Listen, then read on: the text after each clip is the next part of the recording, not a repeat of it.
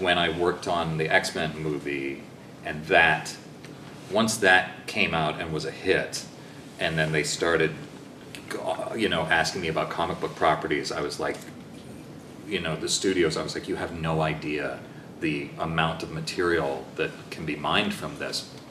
And so I started to hope that it would uh, it would catch on, and um, I haven't I haven't kept up with things. Has it caught on? um, I didn't know it would catch on like this. I didn't know that they would like literally mine every single comic book ever written. But as a nerd, it's it's it's pretty exciting to um, to watch that happen, and it's a good time to be a fan. Thank you. worked on what would have been a Watchmen uh, movie project.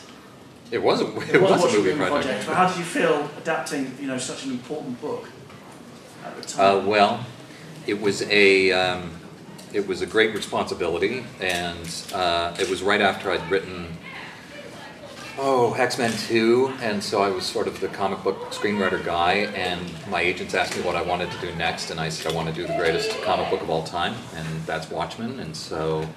I, uh, we, I tracked down the rights and um, made a deal with the producers and we set it up. And as soon as I did, I, um, someone gave me Alan Moore's um, uh, number. Alan Moore is the, the, the author of the greatest comic book of all time. And I called him up and I said, um, My name's David Hayter, and I, I've been tasked with adapting your masterpiece into a movie, and I know you don't care for Hollywood, but uh, I just want you to know how important um, this story is to me and how important it is to me to get it right. So, you know, if you'd like to be involved, any any level of involvement you, you want, please let me know. And uh, he was very kind, and he said, uh, he said, oh no, David, um, you know, the the book is my story and the movie's your story, but you know, you give me a call anytime for if you have any questions. And uh, and he was so kind, and, and I and I called him a few times through the process, and um, yeah, it was, and that was really my job for about nine years on that movie was just to protect the integrity of of that story and try to make a movie that that reflected the brilliance of that of that very important book. So it was it was heavy duty. Right for the, the Scorpion King. How much influence and how much of the story was yours, and did you enjoy doing the Scorpion King? I did. Um, I was brought in like three weeks before they started shooting, so I was like a, a, a last minute cleanup um, screenwriter. And um, so, how much of it was mine? It was really, you know, it was other people's script. I just came in and sort of, I came up with some new action. I kind of put in my own style of dialogue. Some of the dialogue had been uh, kind of modernized, and this was a Stone Age thing, and it always drives me nuts when people are like, "Oh, that's gotta hurt," or you know, something like that, modern phrases. So it was really sort of taking the dialogue back to, um, I mean, not, you know, it's not ancient. It's still it's still goofy and, and action based, but uh, try not to be so anachronistic. And then, um, so I did my rewrites on the script, and then I got to do a, uh, I got to do a read through of the script, sitting in between uh, The Rock and uh, Michael Clarke Duncan, who are two of the largest men I've ever seen in my life, and they're both in like string tank tops, and their biceps are like this, and I was like. If they both fell over at once, I would be crushed into a fine paste. Um, but that didn't happen. And then one time, uh, so I did my rewrites and everything, and I, I was on the set for, for a couple of weeks, and then they were like, okay, I think we're good with the script. So I went on my way, and then they called me one day and said, um, we want you to come down, and we're having trouble figuring out the action at the end. And so I went, they drove me out to the desert, and they built this castle, and I got to stand with The Rock and, uh, and the director, Chuck Russell.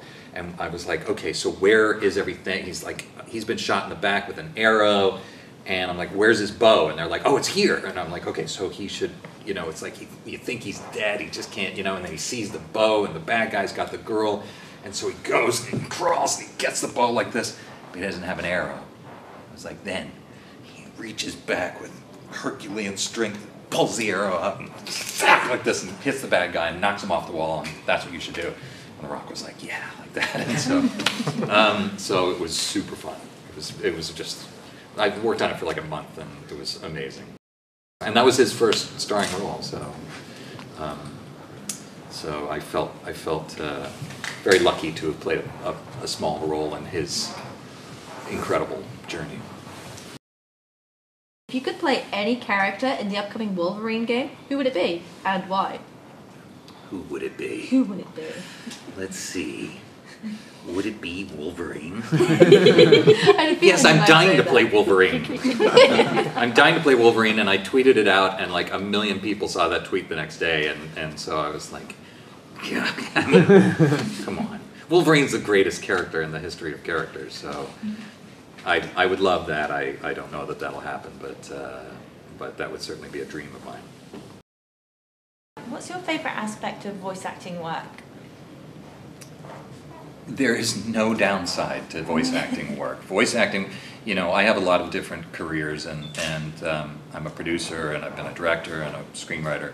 I love them all, but voiceover is just pure fun. You know, you you work with the most amazing people. Like voiceover people are the nicest people in the world. There's no ego.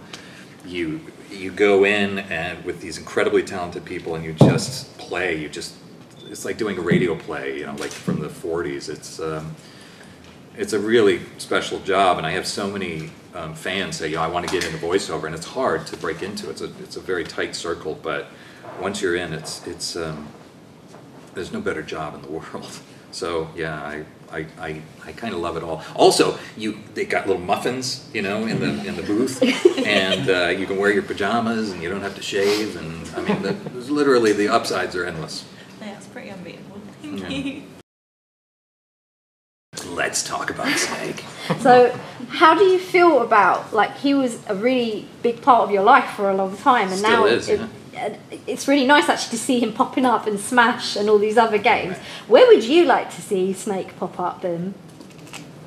Oh, well, I mean, first of all, you know, Snake has had a massive impact on my life, my career. It's been, a, I mean, I do, I do cameos, I do cons, I, I constantly am talking like Snake, and yeah, you know, um, I would love to see more games be made. You know, those epic, epic games, and um, I'm looking forward to Jordan Vogt Roberts' movie, and uh, you know, it'd be kind of nice to see Snake um, grow beyond just you know the, the, the gamer community. Although he's you know obviously had a big impact there.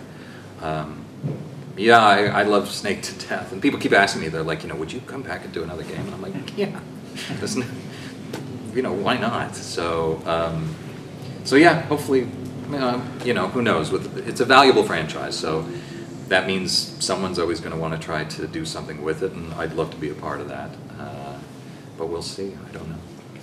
Fingers crossed. I wanted to know what you thought of the uh, casting of Oscar Isaac as Snake.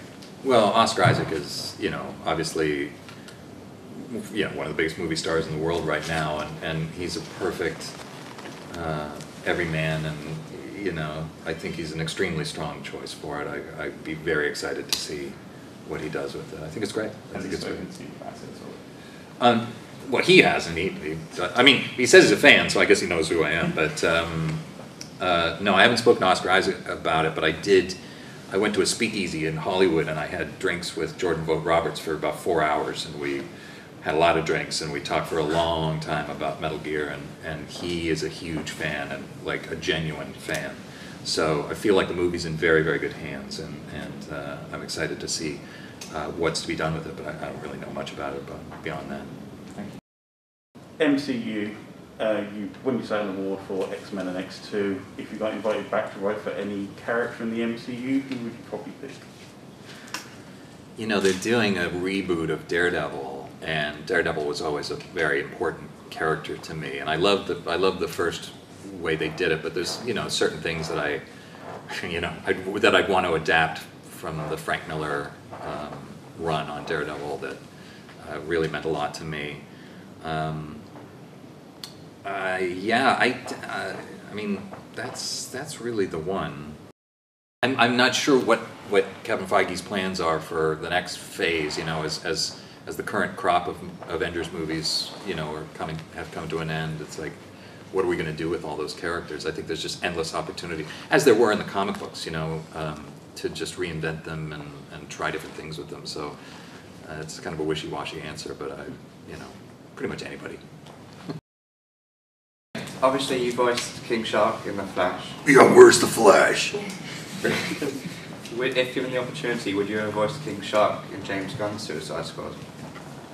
Well, no one knows this, but I sent a message to James Gunn because we follow each other on Twitter and I know him a little bit from Marvel premieres and stuff like that. And I was like, hey, you know, I do play the voice of King Shark on, on The Flash, and I know, you know, you're going to use him in Suicide Squad, so, you know, if you need if you need any help uh, with King Shark, let me know. And he was like, that's awesome. And then that was, that was the last time. so and then uh, I think he went with a bigger name. Sylvester Stallone. Yeah. Oh, yes, yes. An up and coming kid.